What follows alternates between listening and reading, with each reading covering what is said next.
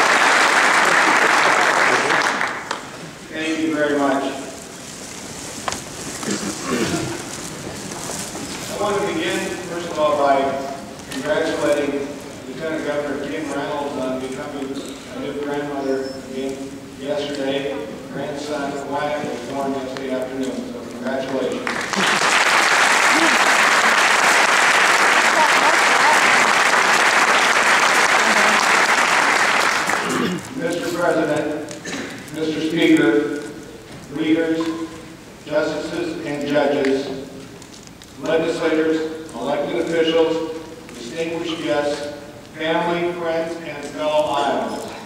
I'm humbled to stand before you once again as your governor in this, the People's House.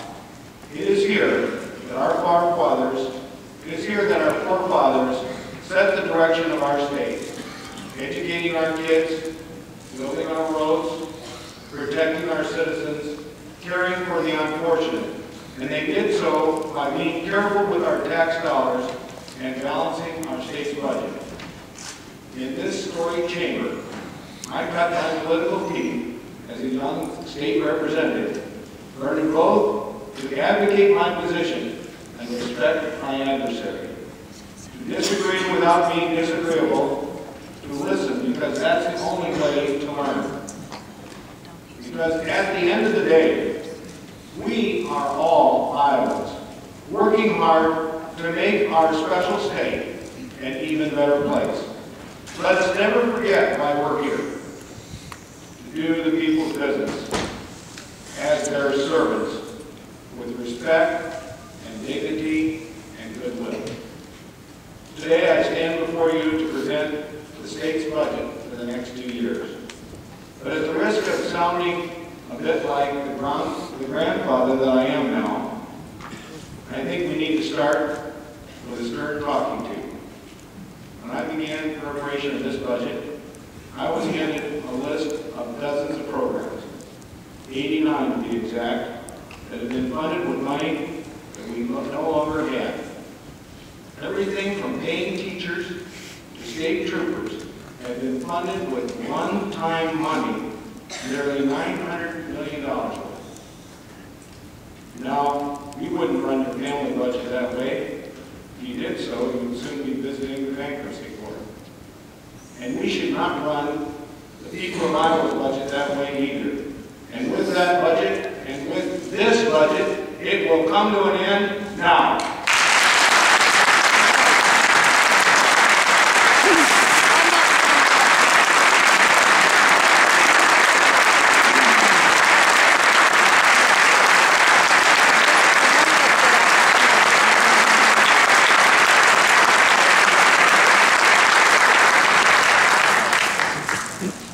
I understand that this budget method of borrowing from Peter to pay Paul didn't just happen overnight. I understand it's been building over at least 10 years. But that doesn't make it right, and that doesn't mean we can ignore it for another decade. You see, if we don't fix it, the very integrity of government is threatened. When we overpromise and underdeliver time after time, we erode like a corrosive acid the ties that bind society. And our ability to those, do those things we desire, to educate our kids, caring for the sick, protecting the vulnerable, or improving our ability to create jobs, will be lost in the sea of red tape. It is our responsibility as servant leaders to pass a budget as honest, frugal, and balanced as the people it serves. And the time is now to do it.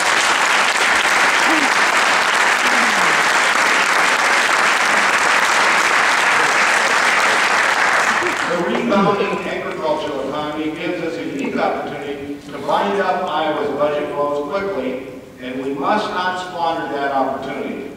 It will not be easy, it will require difficult and painful choices, but the pain we endure by fixing our budget today will lead to great opportunity for Iowa in the future. It will require change. No longer can every organized constituency get what it wants.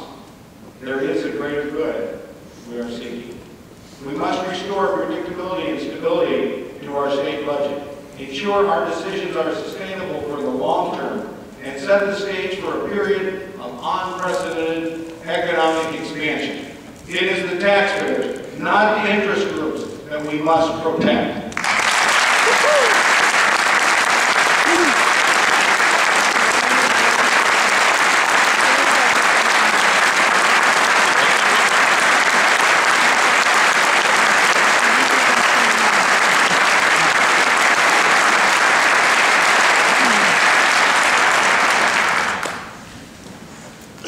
So the budget I present to you today cleans up the budget that's been made. It cleans out the cobwebs from the closets of government. It sets Iowa on a new course with a smaller, predictable, sustainable government that is nimble enough to respond to the needs and small enough to stay out of the way of job creators. And we do it by, first, $770 million of general fund spending that was funded by one-time revenue is moved back into the general fund where it belongs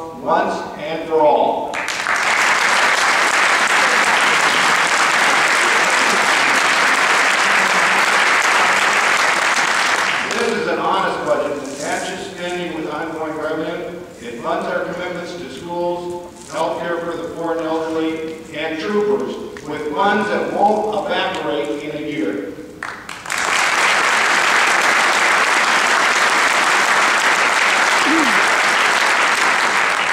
Second, this budget provides 160 million, nearly 160 million in direct property tax relief to Iowans.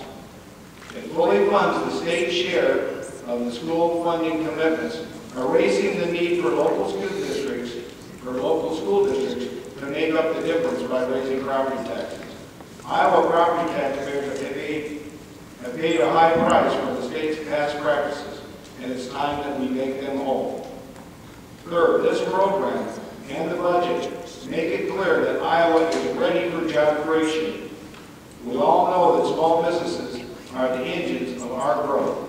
Yet our small businesses pay an income tax rate that is the highest in the nation at 12%. And our small businesses pay commercial property taxes as high as those in Midtown Manhattan. This budget will make us competitive for new jobs. The small business income tax rate will be cut in half to a flat 6%. Commercial property taxes reduced by 40% over the next five years. New investments will immediately be taxed at only 60% of their valuation, and existing property will be rolled back 8% a year over five years. My plan includes funding for these tax cuts through the use of new revenue coming into the state due to economic growth, the additional revenue generated by the extension of the Bush tax credit of the Bush tax cuts, and by a restoration of the gaming tax to the level at which it was originally agreed to years ago. I will be bringing forth legislation also to transform our current Department of Economic Development into a public-private partnership. This will be a partnership that unshackles our economic development efforts from an alphabet soup of bureaucratic programs and brings the best practices of both the public and the private sector to recharge our job creation mission. And I intend to give that new partnership new tools to market and sell our state to job creators.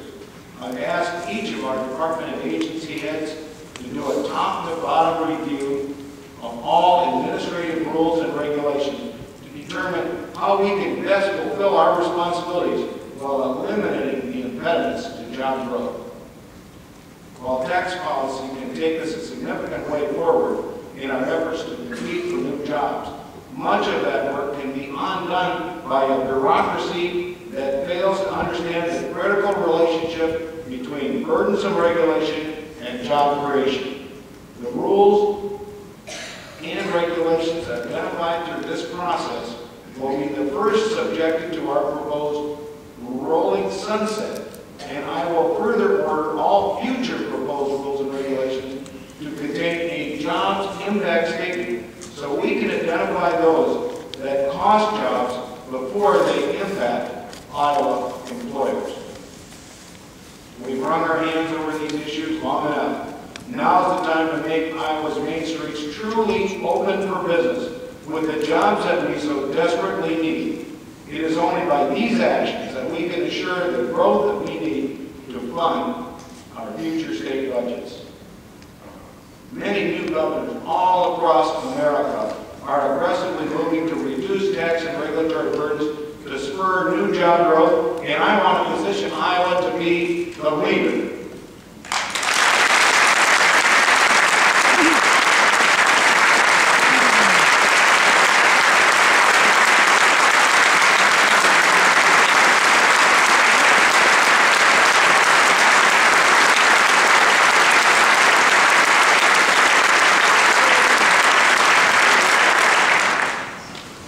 No one will work harder to bring new jobs to Iowa than me, Lieutenant Governor Reynolds, Director Durham, and our entire economic development team.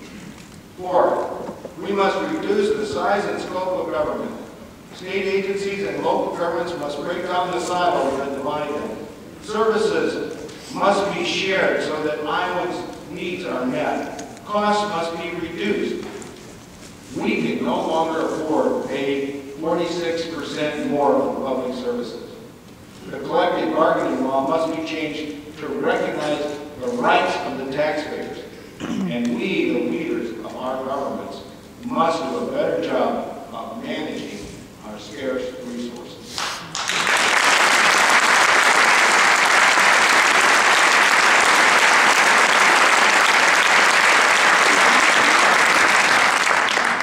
Over the last two months, Lieutenant Governor Reynolds and I have been actively working with our management team, reviewing the key- the current budget in excruciating detail. In fact, the Lieutenant Governor and I have taken the time to personally review every line item in the state budget, so we can look Iowans squarely in the eye when we tell them we simply government and the status quo is no longer a viable option. With this budget, we have a choice. Do we take the bold and difficult steps, make the painful decisions, and honestly align our spending with our revenue? Or do we kick the problem down the road yet again? Fellow Iowans, I didn't come here to avoid the tough decisions. No more games, no more gimmicks, no more bailouts.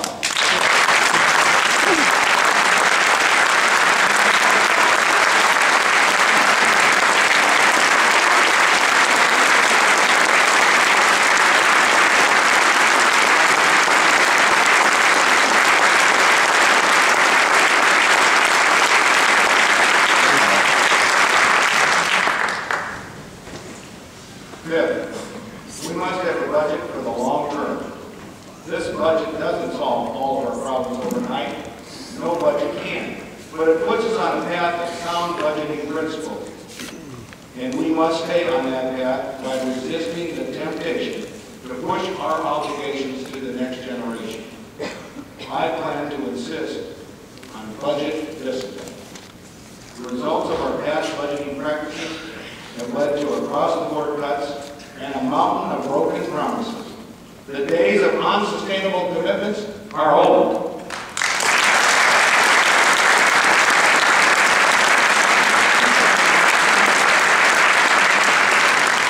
And it will come as no pride, it will come as no surprise to any of you that I'm submitting a biennial budget that includes my recommendations for fiscal years 2012 and 2013.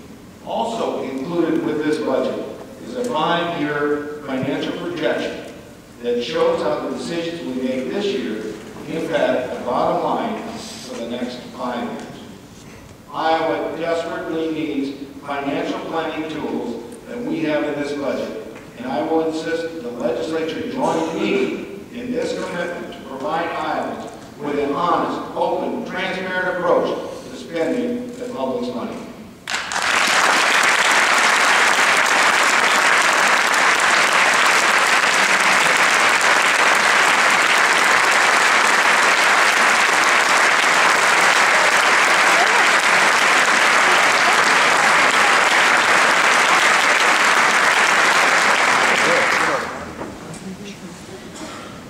We will make our government as good, as dependable, as well-managed as the people that it serves. How do we accomplish our goals? We cut unnecessary spending. Programs that have passed their time are eliminated, and others are modified to make sure that those in need are those that receive government help. Every area of state government will be asked to share in this sacrifice. I've appointed a collection of very talented leaders for our state departments and agencies, and I've charged them with remaking government at all levels to find efficient and less costly ways to deliver services, to deliver state services to our citizens. While school systems across the country are reeling with massive budget cuts, this budget for the next two years holds school spending authority at the current level. No increase, no decrease, but with an assurance that we can deliver on this promise and allow our creative school leaders more flexibility and an opportunity to make things work. And let's not forget, even while holding school spending authority at the current level, last year, the state underfunded its commitment by $156 million. Local school districts were left holding the bag with little choice but to levy additional property taxes to make up the difference. This budget funds that commitment with state dollars and provides direct property tax relief to Iowans.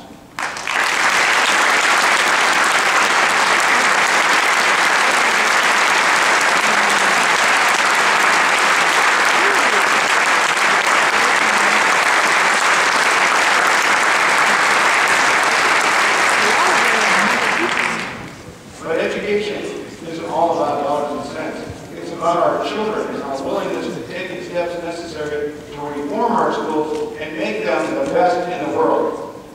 To that end, I will convene an education summit this summer to bring together the nation's most dynamic education reform leaders. These national leaders will work with our new education policy team and strive to reach a consensus on what changes are needed to give our children the nation's highest quality schools. Should we reach that critical consensus, and I have no reason to believe that we won't, I will convene a special session of the Iowa Legislature in the fall of this year to approve our bold reform agenda and to make good on our new covenant promise to provide our children with a globally competitive education.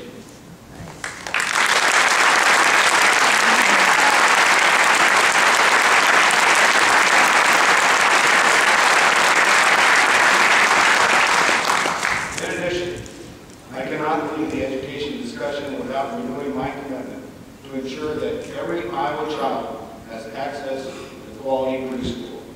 This budget proposes a $43 million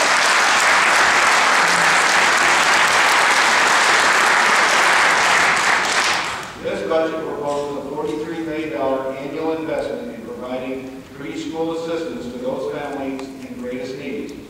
Research shows preschool investments have the most long-lasting impact on children who come from homes with financial need. As such, our program will be targeted to those families and will give parents flexibility to choose the preschool environment that best meets the needs of their children. But we cannot do it alone. All across the state, parents, private donors, and caring organizations have for years partnered with preschool providers to ensure